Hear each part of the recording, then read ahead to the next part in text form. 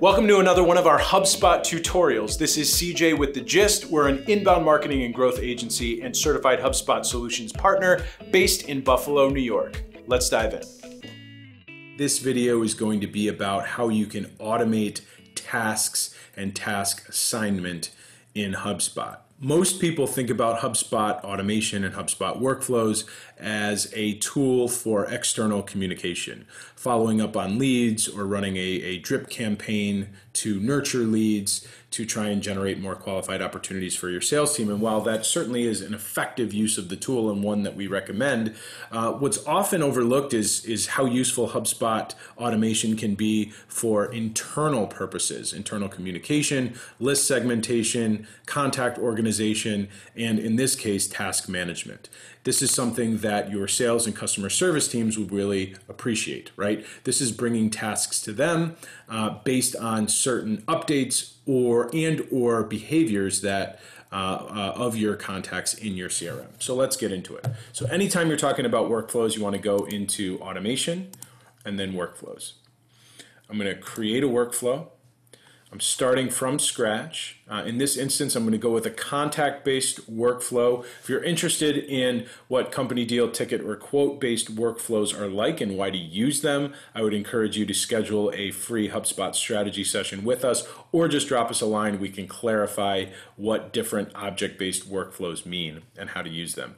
But in this instance, we're doing a contact-based workflow because it's based on something that a contact does, either a, a manual update to a record or a behavior by that contact, either you know through um, interacting with your emails or visiting your website, right? So um, let's say that um, we want to create a task for a contact that already exists in the CRM, and let's say they, they, they take a specific action. Um, so a really good example is when, let's say you have a contact who is associated with an open deal, right? This is an active prospect. They're talking with your sales team. And you want to create a task for your salesperson to follow up when that contact takes meaningful action, right? Your salespeople want to know when somebody they're talking with and they have an open deal with takes an action that they think, right, indicates um, worthy of follow up. So I'll show I'll show you how this works, right? There's another video that we have that that breaks down all the different ways you can create enrollment criteria in a workflow because every workflow it based it starts with enrollment criteria and then triggers um, a variety of actions and options. But let's just say that um, you know contact property um, associated deals is known. So this means they have a deal associated with this contact. There's a deal in your pipeline. That means they're they're they're a qualified prospect. They're being worked, um, and um, we can say page views. Right? Contact has viewed a specific page. Right? Um, and maybe you can say www.thegistcontent.com. Um, and so in this case, it's any um, page um, that includes this URL, but you can even be more precise. Let's say they viewed a pricing page or a product page or something like that. So now you have a really nice filter where, okay, you have a deal and you have a contact that has an open deal and now they've also visited a page. Your sales reps are probably going to want to be notified. Additionally, not only do you want to notify them, but you want to create a task for them to follow up. That's a really simple uh, enrollment trigger that would ultimately trigger a specific action, which in this case would be to create a task.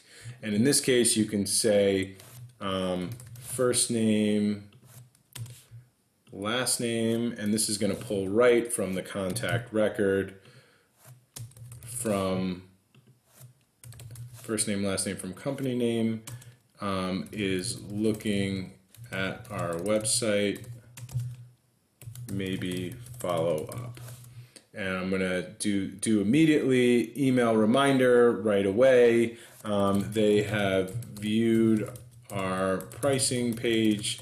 Give them a call. It's a to do, or I can make it be a call. Uh, you can associate it with all company records and deal records. Um, if you have a shared task queue, you can put it in that queue. You can set the priority, and then you can assign it to the contact's existing owner. Um, so that way, whoever owns it within your CRM is going to get that task. And that is an exceedingly simple way to automate task automation, um, to automate task assignment and creation, rather. And what's important to realize is that you can create a variety of task, tasks based on a variety of triggers. You know, maybe somebody fills out a form and it's a support form. And you can create a task for a support rep or a sales rep or any member of your team.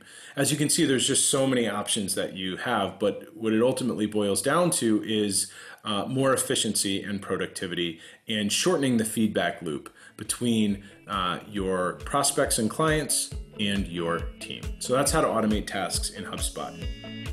I hope you found this tutorial helpful. If you want to dive deeper into this topic, suggest we do a new tutorial on a new topic, or if you want to learn more about our HubSpot onboarding and support services, head on over to thegistcontent.com slash HubSpot.